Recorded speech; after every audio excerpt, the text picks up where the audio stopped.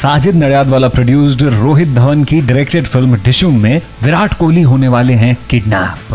Well well, film का plot कुछ इस तरह का बताया जा रहा है जिसमें एक कैरेक्टर ऐसा होगा जो क्रिकेटर विराट कोहली से इंस्पायर्ड होगा। एक्टर साकिब सलीम एक क्रिकेटर का रोल प्ले करने वाले हैं who is inspired by Virat Kohli. बताया जा रहा है कि फ़िल्म में ये कैरेक्टर अपने क्रिकेटिंग करियर के पीक पर होगा and he will be making the team win again and again तो इस कैरेक्टर को विराट कोहली से इंस्पायर्ड बताया जा रहा है और recently a picture of Shakib with Virat also cropped on social media which only gave more fuel to this fire इस फ़िल्म के लीड हीरोज होने वाले हैं जॉन अब्राहम वरुण धवन बताया जा रहा है ये एक बड़ी कॉप फ़िल्म है, जिसमें ये दो दोस्त एज पुलिस वाले बहुत सारे केसेस सॉल्व करते हैं। तो हो सकता है कि उनका एक केस ऐसा भी है, जिसमें उन्हें एक टॉप शॉट क्रिकेटर के किडनैपिंग केस का खुलासा करना है। expect something very interesting from this film Tishum having a very different combination of John Abraham and Varun Dhawan together on screen for the first time.